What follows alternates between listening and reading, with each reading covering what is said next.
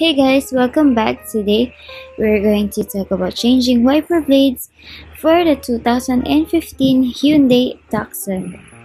But first, why do we have to change a wiper blade that is damaged, stolen, old, or not working properly? It is very important to keep yourself safe when driving. And if you are looking for the 2015 Hyundai Tucson wiper blade replacement size, I have already looked it up. Just check the video description and I will leave the info there as well.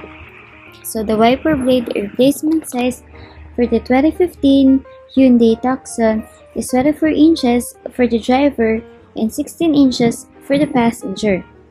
The blade size is different for the driver and for the passenger. So once again, the wiper blade replacement size for the 2015 Hyundai Tucson is 24 inches for the driver and 16 inches for the passenger. And if your 2015 Hyundai Tucson uses a different size, or if you know a cheaper place to buy, to buy a wiper blade replacement for the 2015 Hyundai Tucson, be sure to comment down below and let the rest of us know. Don't forget to check the video description for the recent price. Thank you for watching this video.